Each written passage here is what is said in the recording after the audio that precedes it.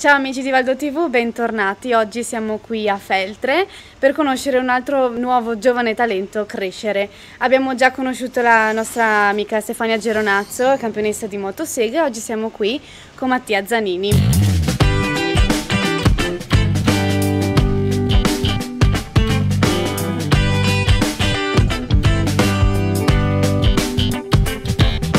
Ciao Mattia, allora raccontaci un po' chi sei, da dove vieni, quanti anni hai, cosa hai fatto. Ciao a tutti, eh, sono Mattia Zanini, ho 20 anni, ho studiato presso l'Istituto Agrario di Vellai e nel mio tempo libero mi dedico al fai da te, e, oltre alla musica. Infatti noi oggi siamo qui proprio per vedere un po' di tue creazioni artigianali che hai fatto, che stai producendo per farti conoscere appunto come artigiano diciamo.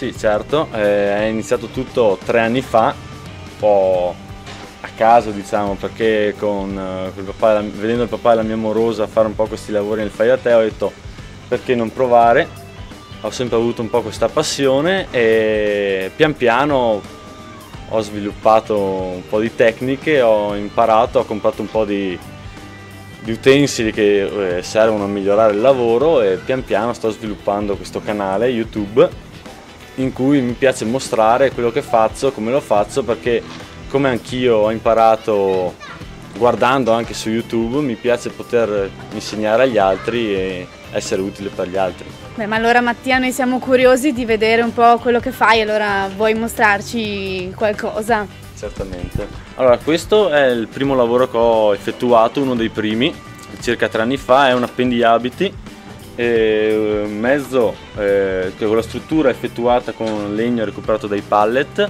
mentre eh, il supporto dove vengono appesi gli abiti è con dei tronchi recuperati.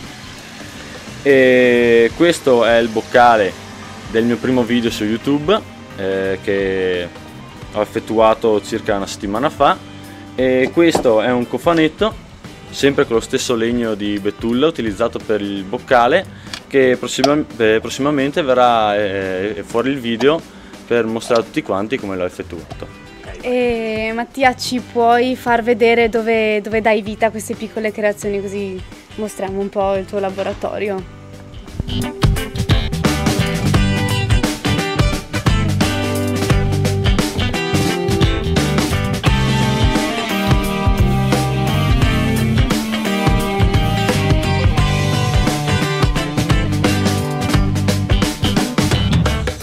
Beh, il laboratorio è veramente ben curato e ordinato e quindi toglici anche un'altra curiosità. Fai solo questo oppure hai altri lavori?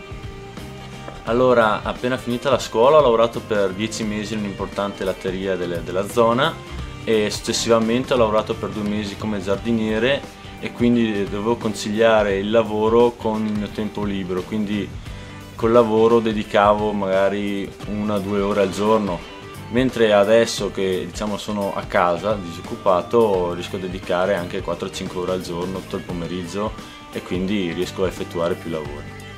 E con questa, questo amore per il legno, queste creazioni, intendi farci proprio qualcosa di importante o lo tieni solo come hobby? Ma per ora punto a tenerlo come hobby, però se in futuro dovesse rivelarsi una cosa che può darmi da vivere, diciamo, sarei molto, molto contento di, di fare ciò. Grazie Mattia di averci fatto conoscere questo tuo piccolo habitat e vuoi fare un ringraziamento magari in particolare a qualcuno?